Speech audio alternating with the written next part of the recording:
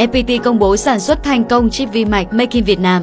Ngày 28 tháng 9, FPT Semiconductor, công ty thiết kế và sản xuất chip vi mạch trực thuộc FPT Software, chính thức ra mắt dòng chip vi mạch đầu tiên ứng dụng trong sản phẩm Internet vạn vật IoT trong lĩnh vực y tế, hiện thực hóa giấc mơ sản xuất linh kiện bán dẫn Make in Việt Nam.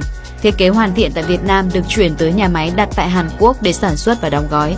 Trong 2 năm tiếp theo, FPT dự kiến cung ứng ra thị trường toàn cầu 25 triệu đơn vị chip. Chip của FPT sẽ phân phối tại các thị trường Úc, Đài Loan, Trung Quốc.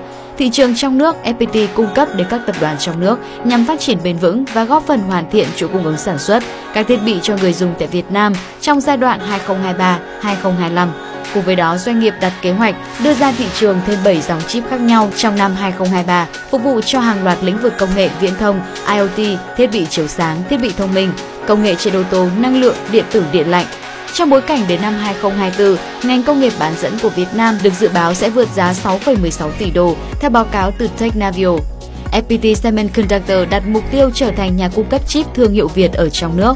Chip vi mạch bán dẫn tích hợp đóng vai trò tiên quyết trong các thiết bị, quyết định hiệu suất làm việc và ảnh hưởng lớn đến giá thành của tất cả các hệ thống điện tử. Trong bối cảnh doanh nghiệp trên toàn thế giới tăng tốc trong cuộc đua chuyển đổi số, phát triển hệ sinh thái thiết bị, việc sản xuất chip vi mạch bán dẫn tích hợp trở thành xương sống cho hệ thống điện tử và ngành công nghệ phát triển. Theo Gartner năm 2021, ngành vi mạch bán dẫn toàn cầu mang về doanh thu gần 600 tỷ đô la Mỹ. Tại Việt Nam, số lượng tổ chức và doanh nghiệp trong ngành chip vi mạch bán dẫn phần lớn tập trung vào các trường đại học kỹ thuật hoặc các doanh nghiệp nước ngoài đầu tư nhà máy sản xuất.